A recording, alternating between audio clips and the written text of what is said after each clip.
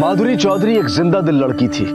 नए जोश, नई उमंग के साथ आगे बढ़ना चाहती थी। ज़िंदगी के हर पल को पूरी तरह से जीना चाहती थी। अपने और अपने परिवार के लिए हर पल को यादगार बनाना उसे अच्छी तरह से आता था। उसके दिल में सबके लिए प्यार और सम्मान था। अपनी दुनिया में मग्न थी वो और खुलकर हंसती थी। तो फिर अचानक ऐसा क्या हुआ कि इस अल्हड़ निश्चल नदी से बहने वाली मासूम लड़की को वो कदम उठाना पड़ा जिसने इसके जीवन की रफ्तार को ना सिर्फ़ रोक दिया, बल्कि पूरी तरह से खत्म कर दिया।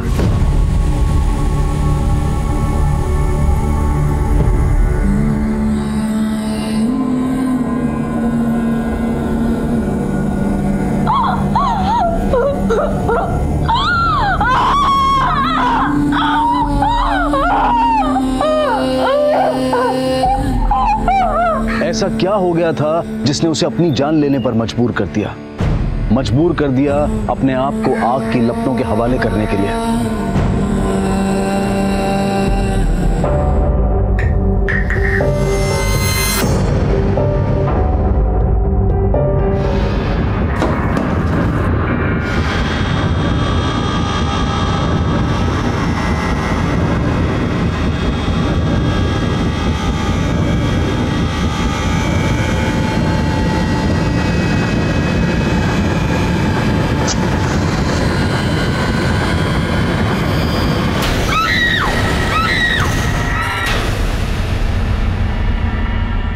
आखिर क्या वजह थी कि एक मासूम लड़की ने अपने भविष्य को स्वाह कर अपने आप को शून्य कर लिया? क्या उससे कोई अपराध हुआ था जिसकी ग्लानी में उसने फैसला लिया था? या फिर उसका कसूर सिर्फ़ इतना था कि वो एक लड़की थी? और वो भी एक ऐसे राज्य में जहाँ पर लड़कियों की संख्या एक समय में काफ़ी गिर चुकी थी। जहाँ पर लड़कियों को गर्भ में मारने और उनकी खरीद फरोख्त की चर्चाएँ आम थी। अरे दरवाज़ा खोल दरवाज़ा खोल माधुरी। दरवाज़ा खोल। खोल दरवाज़ा खोल। दरवाज़ा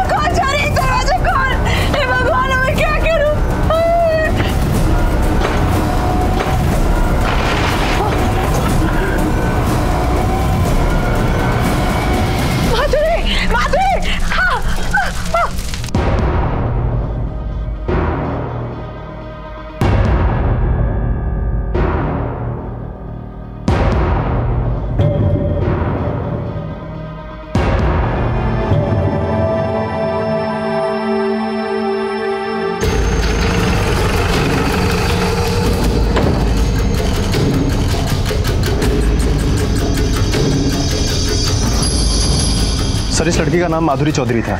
इसकी उम्र सत्रह साल थी, सर। इसने अपने ऊपर केरोसिन ऑयल डाल के खुद को जला दिया और सर, इसके बाप का कहना है कि दरवाज़ा अंदर से बंद था।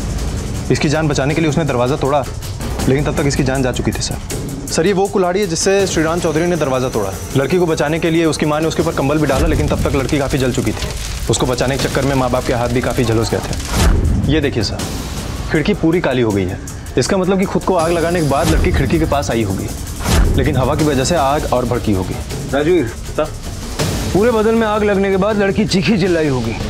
जरा आस पड़ोस में पता करो किसने क्या देखा सुना है। बेरा ना जी अल्लाह सा सुन के मैं घर से बाहर भाजा। मैं देखा सामी श्री राम चौधरी की छोरी माधुरी। लपटा में घिरी पड़ी।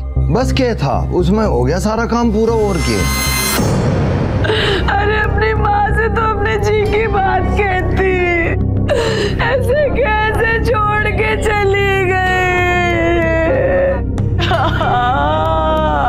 आप बता सकते हैं क्या हुआ था? तब सवेरे मैं और मेरी घराड़ी किसी काम से बाहर गए थे। जब हम वापस लौटे किवाड़ खोल के देखा तो अरे घर में जलने की महक सी क्यों आ रही है? क्या हुआ? चूल्हे पे कुछ धरा तो नहीं छोड़ गई थी? अरे मैंने तो कुछ नहीं चढ़ाया था। माधुरी कुछ बना रही होगी। हम रसोई की तरफ़ बाजे। मैंने लगा बालक बुद्धि है कि मैं कुछ फूंक फाक दिया होगा। मैंने रसोई का किवाड़ खोलने की कोशिश की। और दरवाज़ा भीतर से बंद था। मैंने जब तक दरवाज़ा तोड़ा बहुत टाइम हो लिया था। हमारी बच्ची हमारी आँखों के सामने राग बनी पड़ी थी। आप कुछ बताना चाहती हैं?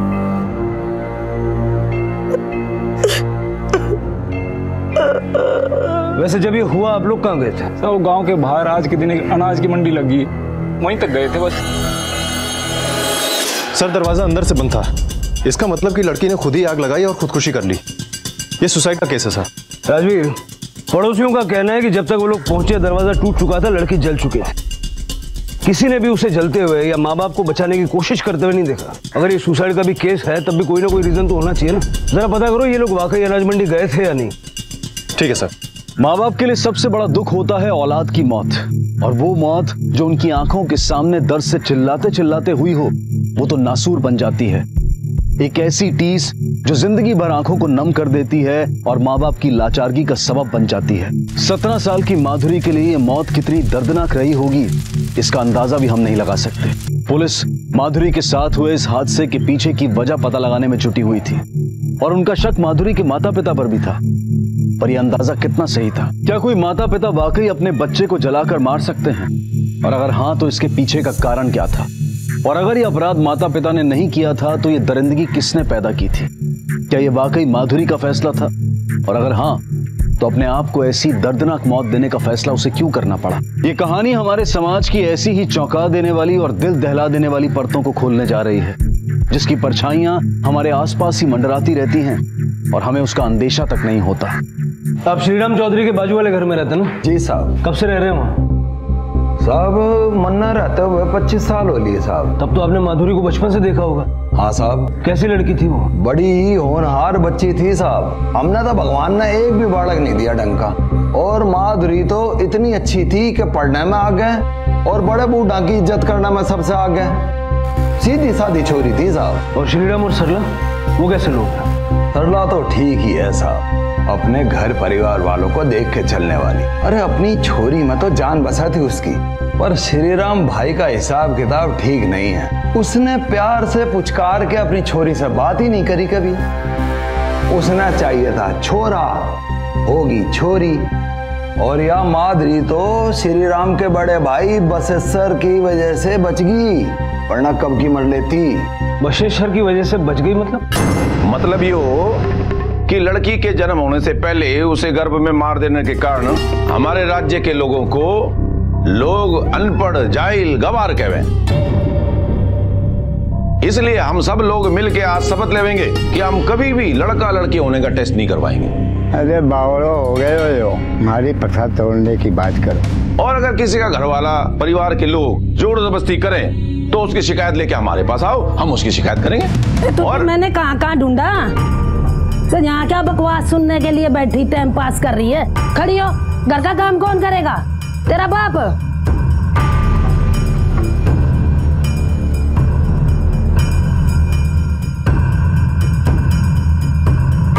देख रहे हो ना थारी बात का असर क्या है ताऊ? अगर मैंने थारी बात माने ना तो ससुराल वाले मुझे मैं के चलता कर देंगे।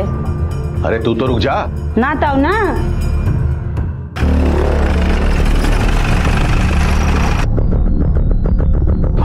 मैंने भी सुना कि माधुरी ने सुसाइड कर लिया।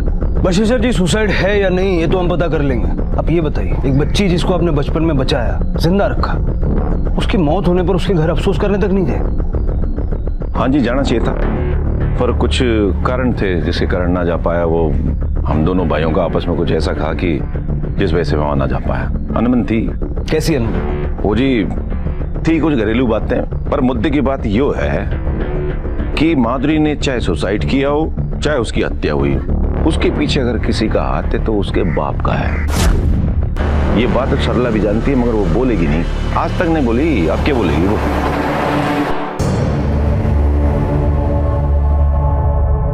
चल खड़ी हो, फटाक से जरा।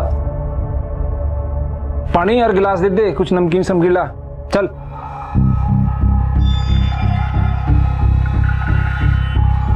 मुँह आँखें के दिखा रही है? ये टसवे बाणे बंद कर दे। और जल्दी से गिलास से पानी ला दे चल। शर्म नहीं आ रही तने अभी चोरी का अंतिम संस्कार भी नहीं हुआ। और तू ये बोतल लिए फिर रहे हो। शर्म की बात तो तू मत ना करे। बतेरी देख ली शर्म वाली तेरे जैसी। और वैसे भी ना यो मत ना दिखा कि तू बड़ी दूध की धुली पड़ी है। अरे चल खड़ी हो। अरे तन्ने सुनाई ना दिया के मानेगी। तुमसे कह रही हूँ मैं, कह रही हूँ ये गिलास पानी ला दे और नमकीन ला दे भाई समझ में आता ना तो सीखे साथ मर जा उसके यहीं मर जा चल कहीं नहीं ना राजवीर ये देखो दरवाज़ा जल चुका है पूरा काला हो चुका है। इसका मतलब आग लगने के बाद माधुरी काफ़ी देर तक दरवाजे के पास थी। शायद वो अपनी जान बचाने के लिए बाहर आने की कोशिश कर रही हो हाँ सर।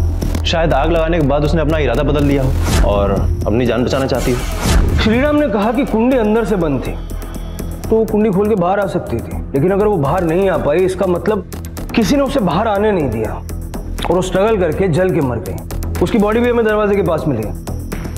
हो सकता है सर सर हमने अनाज मंडी में भी इंक्वायरी की थी लेकिन किसी ने भी इन दोनों पति पत्नी के वहाँ जाने की बात कंफर्म नहीं की। शायद वहाँ पर भीड़ रहती है इसलिए? राजवीर हो सकता है कि अनाज मंडी जाने की बात ही झूठ हो। और इन्हीं दोनों ने या इनमें से किसी एक ने उसे मार दिया।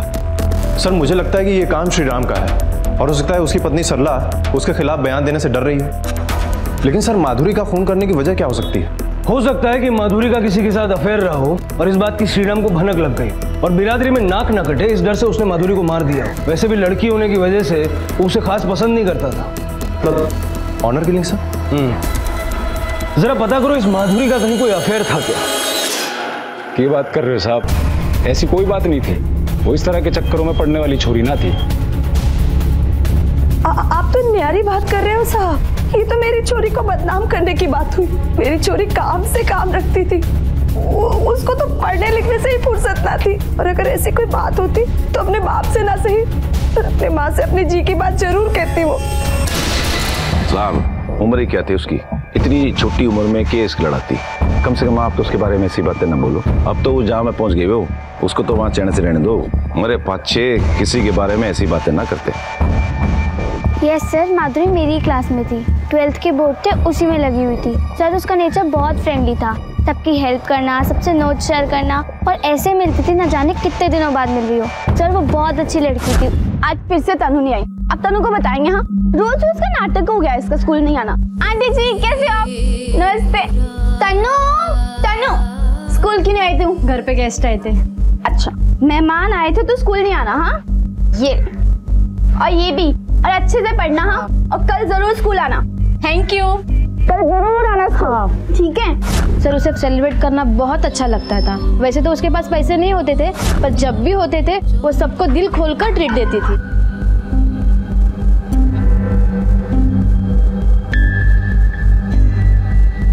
अच्छा माधुरी का किसी के साथ अफेयर था? या कोई बॉयफ्रेंड माधुरी और अफर इम्पॉसिबल सर वो इस टाइप की लड़की थी ही नहीं।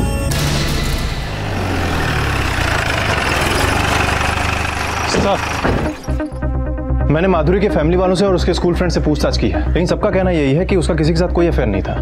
वो एक पढ़ने लिखने वाली और सीधी सादी लड़की थी। राजवीर हो सकता है कि किसी को इस बारे में कुछ पता ही ना हो। ये देखो माधुरी के कॉल रिकॉर्ड्स इसमें एक नंबर से कई बार लगातार बातचीत की गई। किसी राहुल मलिक के नाम का नंबर है ये। जरा पता करो ये राहुल मलिक कौन है और इसका माधुरी से क्या लेना देना सर माधुरी मेरी बहन थी। उसके पापा मेरे मामा हैं। और मेरी मम्मी और मामा के बीच में कभी नहीं बनती सर। जब से मेरी मम्मी ने अपनी मर्ज़ी से पापा से शादी की तो श्रीराम मामा ने उनसे रिश्ता तोड़ दिया। उनके बीच कई सालों से बातचीत भी नहीं है। कमाल है। माँ की मामा के साथ बातचीत सालों से बंद है। लेकिन तुम्हारी बातचीत माधुरी के साथ चालू थी। क्यों? सर, क्योंकि हमने बड़ों की अनबन को कभी भी भाई बहन के रिश्तों के बीच में नहीं आने दिया। मैं और माधुरी, सर, काफ़ी अच्छे फ्रेंड्स थे हम लोग।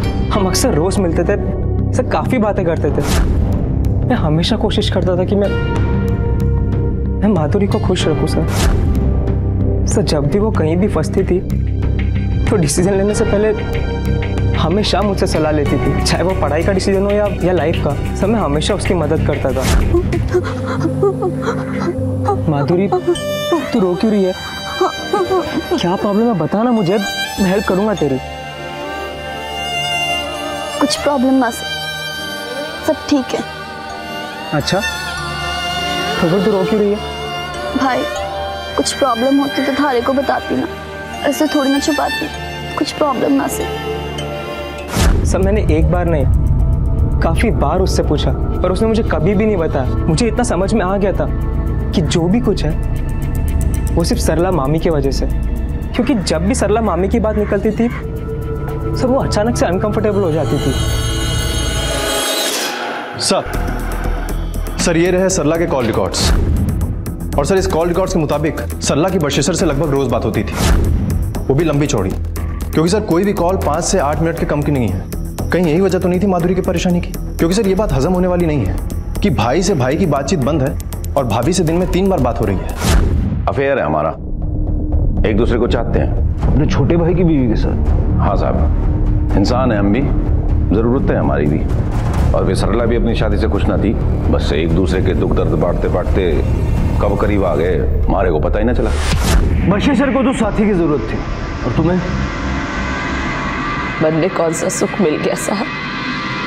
ब्याह के नाम पर बाप ने एक शराबी के गेल बाँध दिए दारू की बोतल छोड़ के उसने कभी मारी और मारी चोरी की सुध न ली। जो इन्होंने सहारा ना दिया होता तो मैं कद की मर जाती। पर कोई भी मर्द अगर सहारा देगा तो उसके बदले में ज़रूर कुछ मांगेगा। सर मुझे ऐसा लगता है कि माधुरी को इन दोनों के अफेयर के बारे में पता चल गया होगा। और अपना अफेयर छुपाने के लिए उन्होंने उसका फ़ोन कर दिया होगा।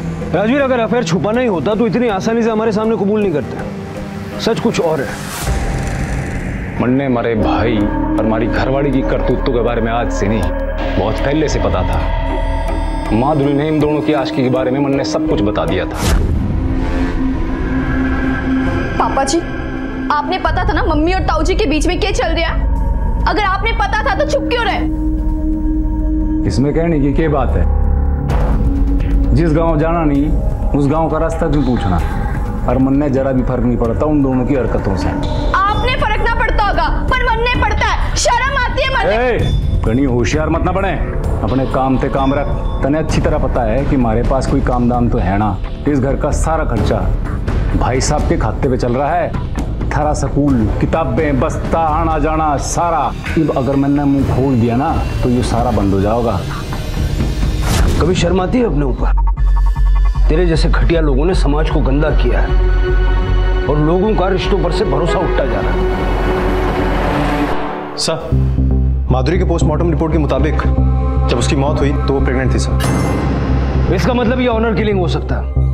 अपनी झूठी और खोखली इज़्ज़त को बचाने के लिए माधुरी के माँ बाप ने उसे मार डाला और उसे सुसाइड की शक्ल देने की कोशिश की।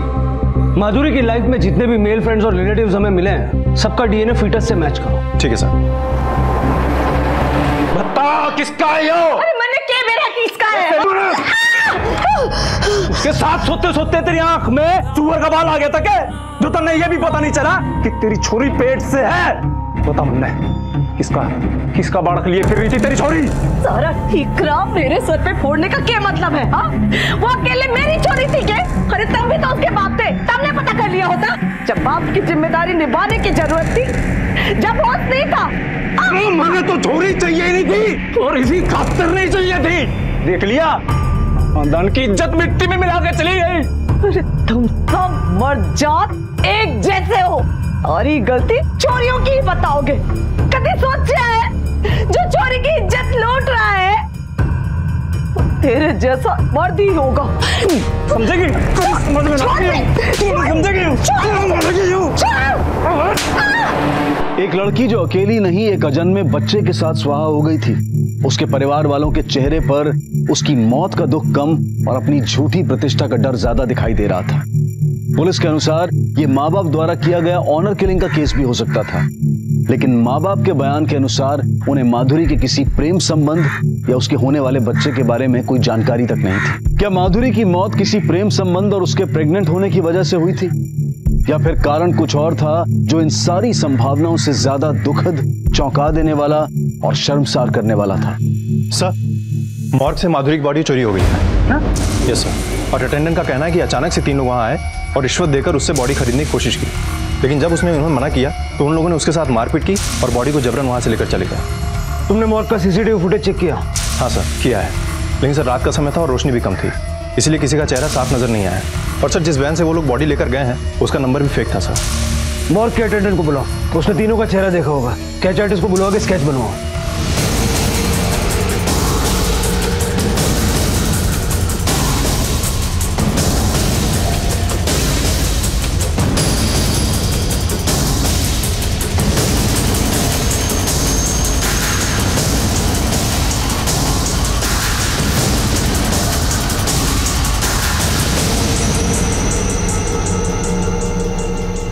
लेकिन सर माधुरी के केस में जितने भी मेल सस्पेक्ट्स हैं इन तीनों में से कोई नहीं है सर। इसका मतलब इन तीनों को हायर किया गया होगा या फिर ये इस केस का कोई दूसरा ही पहलू है जो भी है।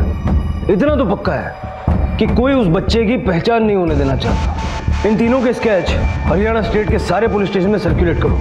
ठीक है सर। माधुरी जो मर चुकी थी और अपने अजन्मे बच्चे के साथ मुर्दा घर में इंसाफ का इंतज़ार कर रही थी उसके मृत शरीर को भी किसी ने गायब कर दिया। और पुलिस का यह मानना था कि यह काम उसी आदमी का हो सकता है जो इस बच्चे का बाप था और नहीं चाहता था कि उसकी पहचान हो सके। क्या उस आदमी को सिर्फ़ अपने पहचाने जाने का डर था? या फिर यही आदमी माधुरी के कत्ल या आत्मदाह के लिए जिम्मेदार था? उसकी पहचान माधुरी के उस अजन्मे गर्भ में छिपी थी जो अब लापता था और पुलिस उसकी तलाश में दिन रात एक कर रही थी। के ऐसे कैसे चोरी हो गई साहब? मरी तो मरी, मेरी चोरी की मट्टी भी पलीत हो गई। जीते जी तो कुछ सुख नहीं देखा उसने। मरने के पीछे दो लकड़े भी नसीब होती नहीं दिख रही साहब। देखिए अगर आप चाहें तो आपकी बेटी को न्याय मिल सकता है लेकिन उसके लिए आपको हमारी मदद करनी होगी। और हमें वो सब कुछ बताना होगा जो आपने अभी तक हमसे छुपा के रखा है। चाची? ओ चाची!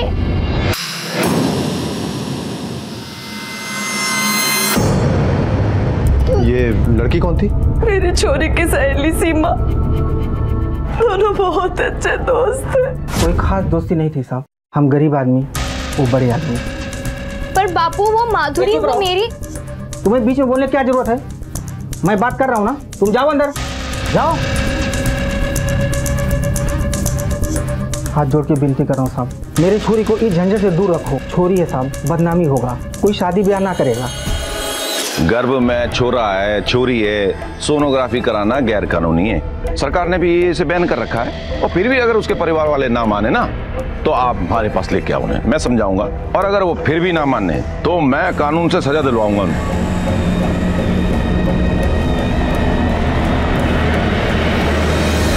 अरे कौन हो? अरे क्या करने लग रहे हो? अरे रुक जाओ। अरे पागल हो गए अरे अरे अरे अरे, समझाओ। अरे रुक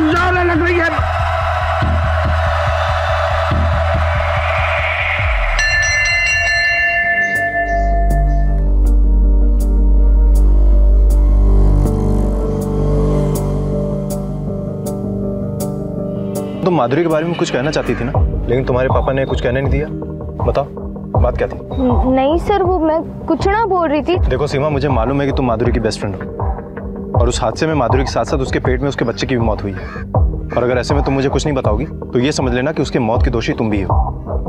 बताओ क्या बात सर इससे पहले भी माधुरी पेट से पर उसने वो बच्चा गिरवा दिया था।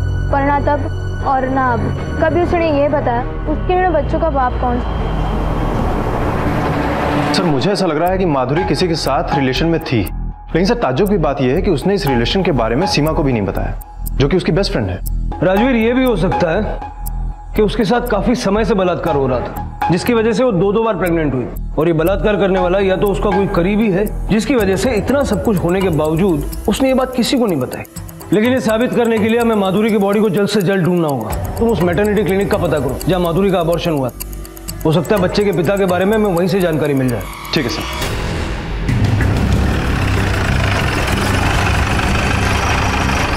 अरे अरे आराम से करे आराम से करे दर्द हो रहा बहुत।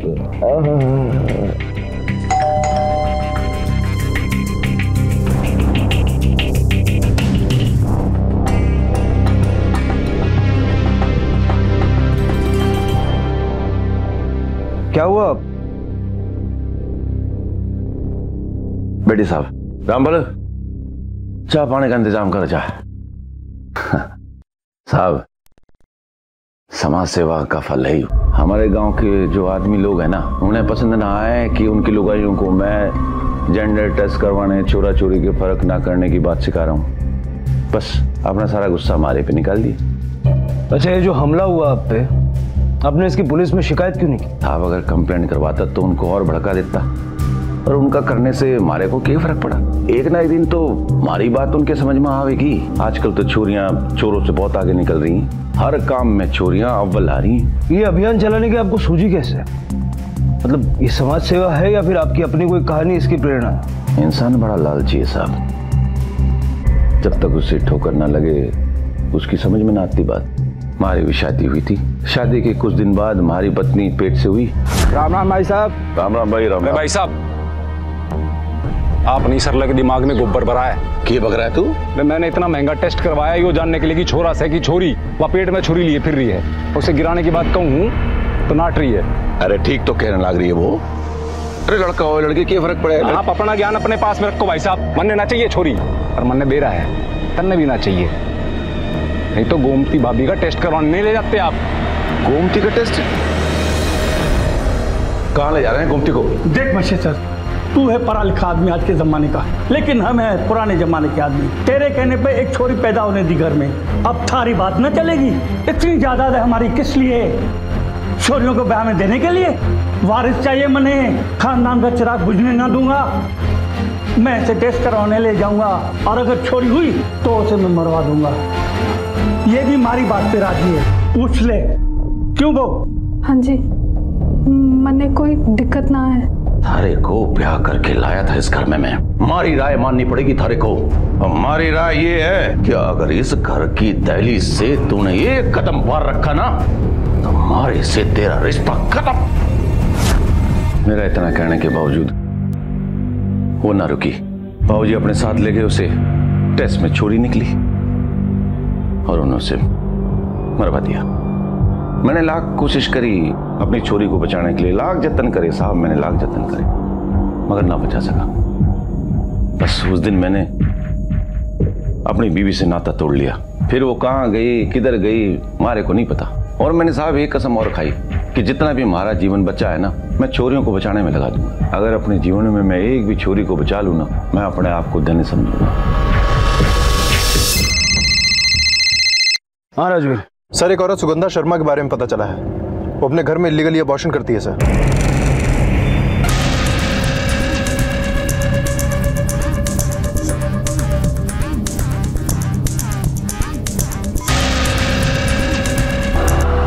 पीछा करो उसका। देखो कहाँ जाती है और किससे मिलती है। जा। आप सुनिए। ये औरत आपसे क्यों मिलने आई? और क्या बातचीत हो रही थी आप लोगों के बीच में? क्या मतलब आपसे? कुछ भी बातें हो रही हो?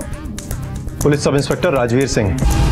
अब जो पूछ रहा हूँ ना उसका सीधा साधा जवाब चाहिए। वरना जो तुम लोग करने जा रहे थे ना उस जुर्म में सीधा अंदर डालूँगा और जमानत तक नहीं होने दूँगा।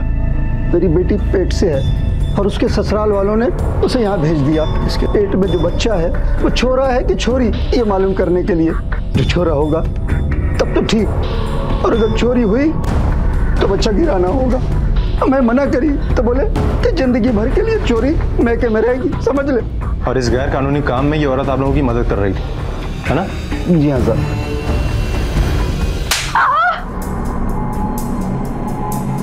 सर मैं तो लोगों की मदद कर रही थी। न जाने कितनी लड़कियाँ ससुराल से मैके में इसलिए पड़ी रहती है क्योंकि उनकी लड़की पैदा होती है। और लीगल अबॉर्शन हो नहीं सकता। काफ़ी घटिया इंसान हो तुम। अपनी घिनौनी हरकत को समाज सेवा बता रही हो। लोगों की हेल्प करती थी ना तुम अब हम तुम्हारी हेल्प करेंगे। तुम पे इलीगल अबॉर्शन का रैकेट चलाने का चार्ज है। वो भी बिना मेडिकल बैकग्राउंड के। और जरा सी हेल्प हम ये करेंगे ताकि तुम्हें जमानत भी ना मिल पाए। लेकिन सर चुप! कब से चला रही है ये गोरख धंधा औरत होके एक औरत को आने से रोक रही थी। लोगों की मजबूरी और उनके रूढ़ीवादी होने का फ़ायदा उठा रही थी। अरे तुम जैसे लोग इंसानियत के नाम पे कलंक हैं। राजवीर। जानती हो इसे। इसका भी अबॉर्शन किया ना तुमने? जी जी ये आई थी मेरे पास। कौन लेके आया था इसे?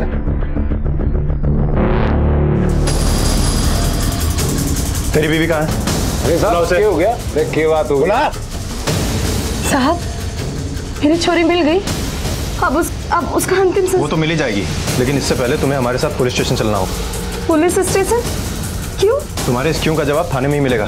ले चलो इसे। पर, पर मन्ने क्यों खा ले चाल ले। अरे वो तो मदारी का बंदर है किसी और की डुगडुगी में नाचते हैं। मन्ने क्यों पुलिस असली करतूत तो उस बसेश्वर की है। अरे दिखने में बड़ा आदमी है। है वो एक नंबर का राक्षस। आइए।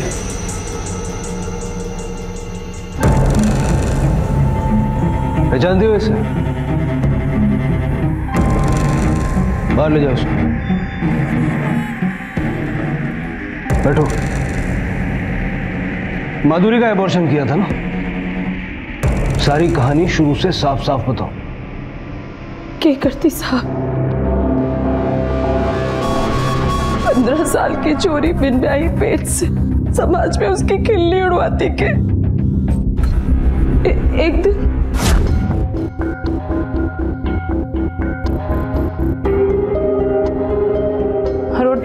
खा रही तू? तबीयत ठीक ना लग रही है। कुछ खाने का मन ना है। कुछ भी खा रही तू उल्टी जैसा हो रहा है। ये हो क्या छोरी? माधुरी? माधुरी? छोरी?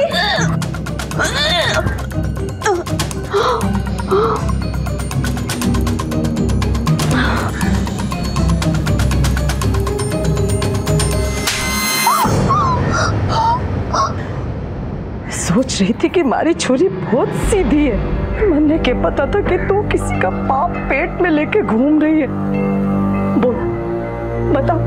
बता किसका पाप है ये? बोल किसके गेल मुँह काला करके फेर रही है तू हाँ? बोल। बोल वरना तेरी जान ले लूँगी जान से मार दूँगी मुझे जान ले जान ले लूँगी तेरे बाप ने पहले ही मेरा जीना मुहाल किया था। अब मुझे ज़िंदा नहीं छोड़ेगा। क्या किया तूने छोड़ी इससे पहले कि किसी को पता चले। मैंने उसका बच्चा गिरवा दिया। माधुरी ने बताया था वो बच्चा किसका था? हाँ साहब हमारे मोहल्ले में एक छोरा था बबलू नाम का। खुद को बदमाश बतावे था। उसी ने हमारी छोरी के साथ गंदा काम किया साहब।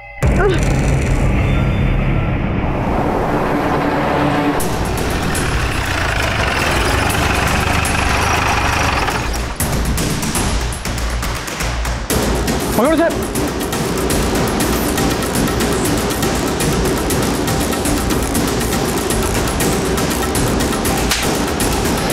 अरे सब बत, बता रहा हूँ बता रहा हूँ सब बता रहा बता बता रहा हूँ सब।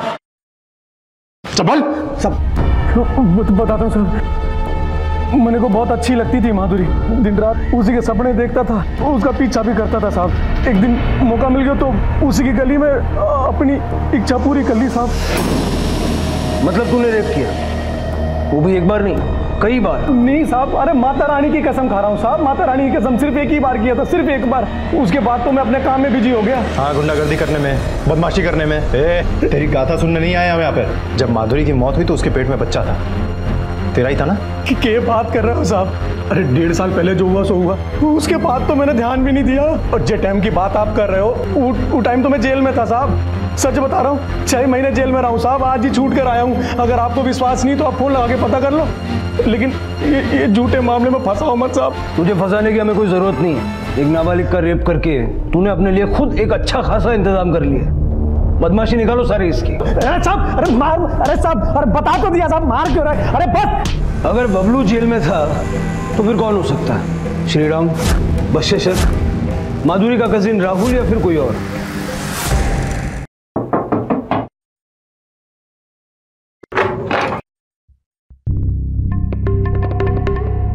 तुम इतनी रात को यहाँ के करने आए हो? थारे से ना मिलने आया सरला से मिलने आया हूँ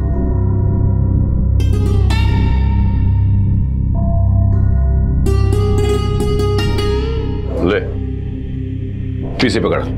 आज अंग्रेज़ी पी लिए देसी पीने वालों को सातवें आसमान में पहुँचा देती है अंग्रेज़ी शराब हाँ? ये नोटों की गर्मी मन ने मत न दिखाइए। निकल लो यहाँ से। भाई वाह भाई वाह। मारा गिद्दड़ भाई आज शेर बन गया है?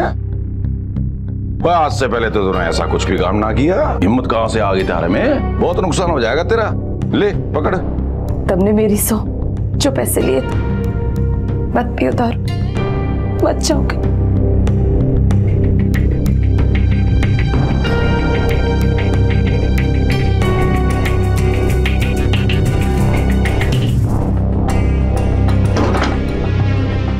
पति पत्नी में बड़ा प्यार जाग रहा है जी।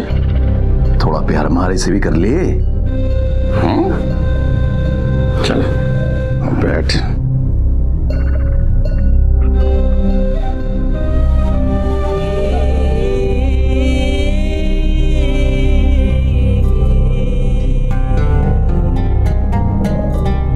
ले, पकड़। बस इतना ही मतलब था थारे से। बीबी ना बढ़ाना थारे को। आगे से ध्यान रखिए, नखरा ना करिए। समझी?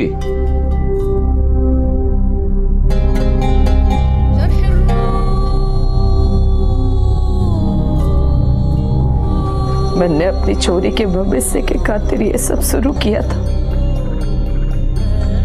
अब जब वो ही नहीं, इस पिस्से का क्या फ़ायदा?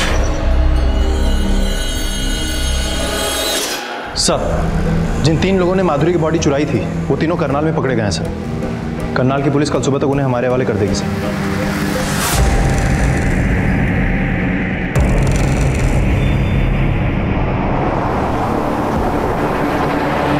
हाँ सर यही थे वो तीनों जो माधुरी की बॉडी लेके भागे थे।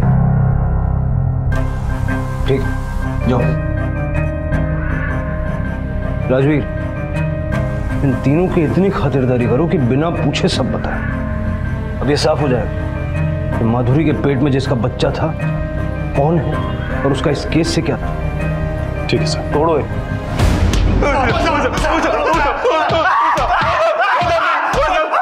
बस। इतना काफ़ी है? या और तोड़े? बोलो।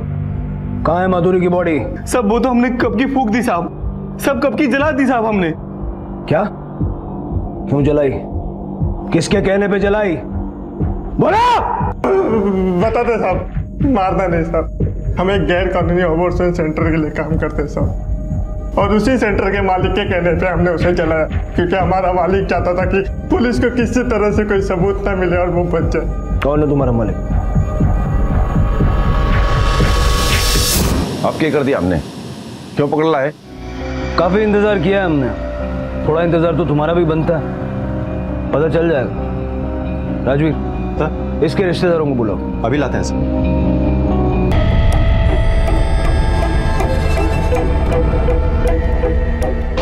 आइए।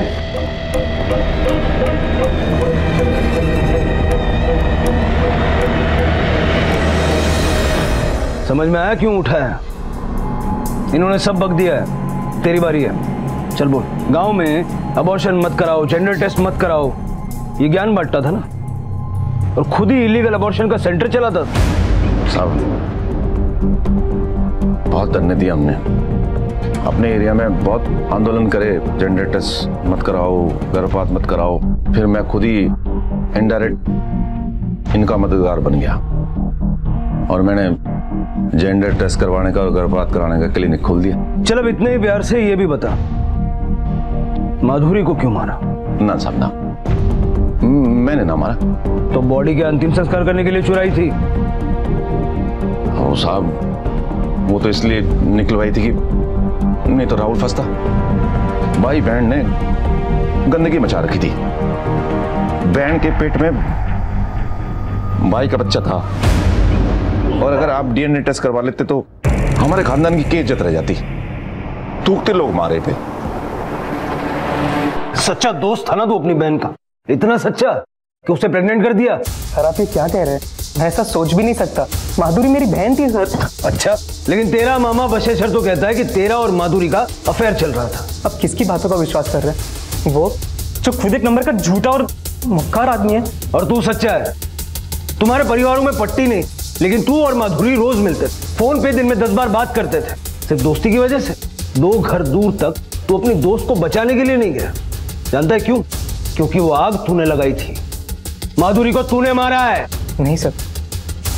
आप मुझ पर बहुत गलत इल्ज़ाम लगा रहे हो। अब माधुरी मेरी बहन थी। मैं ऐसा कैसे उसे तब मैं इतनी गंदी हरकत सोच भी नहीं सकता। मुझे दुख सिर्फ़ इस बात का कि सिर्फ़ दो घर दूर रह के भी मैं उसे बचा नहीं पाया सर। माधुरी के सुसाइड या मर्डर केस से समाज में फैली तमाम दरिंदगी और गंदगी सामने आई थी। अगर कुछ सामने नहीं आया था तो वो था सच का पता कि आखिर माधुरी के साथ क्या और क्यों हुआ था। उसने आत्महत्या की थी या फिर उसे जलाकर मारा गया था? और उस अजन्मे बच्चे का बाप कौन था जो उसके गर्भ में पल रहा था? और तभी पुलिस के हाथ कुछ ऐसा लगा जिसने समाज में फैली गंदगी और घिनौनेपन की सारी सीमाएँ लांग दी। सर राहुल की माँ बाहर बैठी है। वो आपसे मिलना चाहती है। उससे कहो कि मुझसे मिलने का कोई फ़ायदा नहीं होगा। उसका बेटा इस केस में सस्पेक्ट है। उसे हम नहीं छोड़ सकते। अगर वो चाहे तो कोर्ट में बेल के लिए अपील कर सकते। लेकिन सर वो राहुल को छुड़वाने नहीं आई है। बल्कि माधुरी का सुसाइड नोट आपको दिखाना चाहती है। Suicide note? साहब ये चिट्ठी हमारे घर आज ही डाक से आई है। राहुल के नाम की थी इसलिए मैंने खोल के पढ़ ली।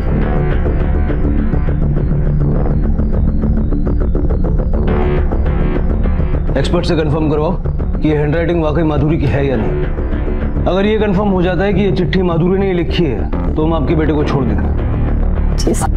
अरे साहब जब मैं अपनी जबान से कह रहा हूँ कि मन मार दी मारी लोग आई तो आप मान क्यों नहीं रहे हो?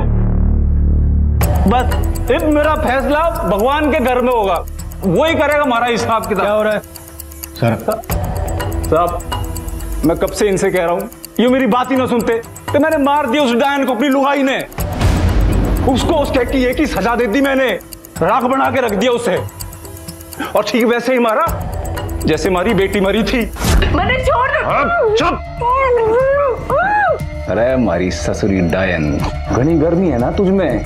आदमी के बिना रह नहीं सकती तू।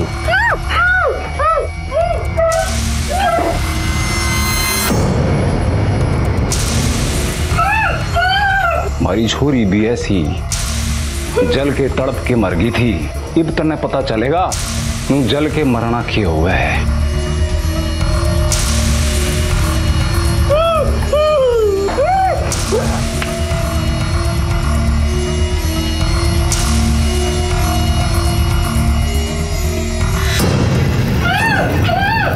मर तू जल के।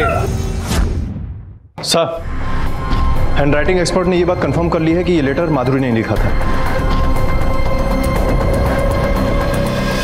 राहुल भैया जब तक आपको ये लेटर मिलेगा तब तक मैं इस दुनिया से बहुत दूर जा चुकी होंगी। हमेशा अपना दुख आपको सुनाया पर अब हिम्मत नहीं है आपके सामने आके कहने की।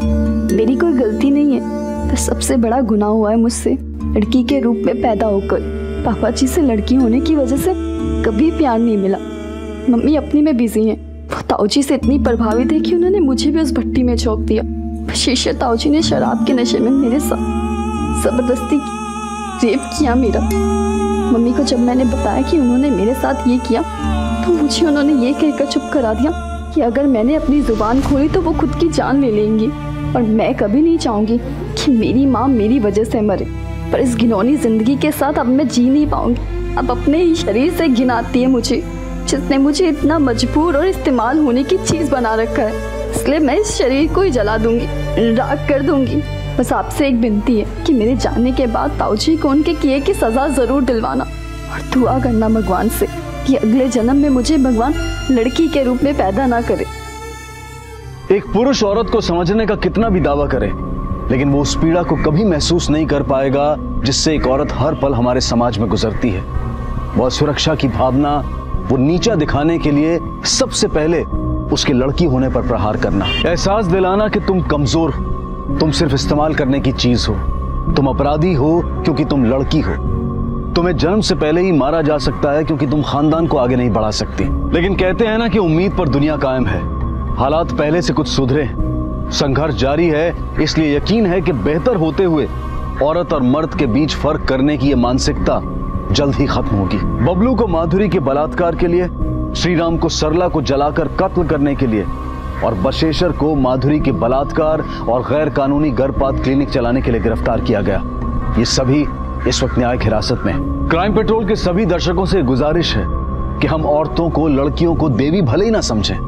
लेकिन उनका जो जायज़ हक है वो उन्हें ज़रूर दें कि वो भी इंसान हैं और उन्हें भी खुलकर बराबरी से जीने का हक है। इसी विचार के साथ अब मैं अनूप सोनी आपसे विदा लेता हूँ। फिर मुलाकात होगी जुर्म की एक और कहानी के साथ अगले एपिसोड में। तब तक अपना और अपने परिवार का ख्याल रखें और देखते रहें क्राइम पेट्रोल डायल एक शून्य शून्य। सबक एक को सीख। हम सब। जय। For more updates, subscribe to our channel, click the show links and enjoy watching the videos.